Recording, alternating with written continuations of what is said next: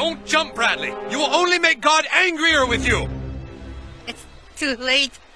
Bradley, please! You're my accountability buddy! How will this make me look? You get back. You're only gonna make things worse. I'm not normal. I'll never be normal. You're perfectly normal, Bradley! Get back. You're just as confused as he is. Alright, alright, that does it!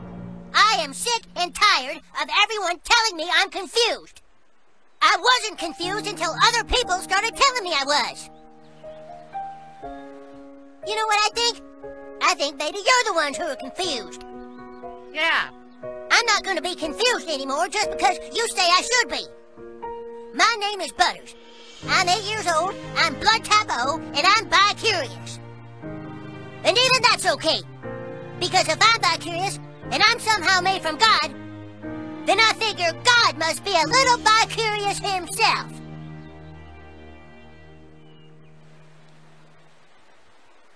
I think... I think I'd like to come down now. He's coming.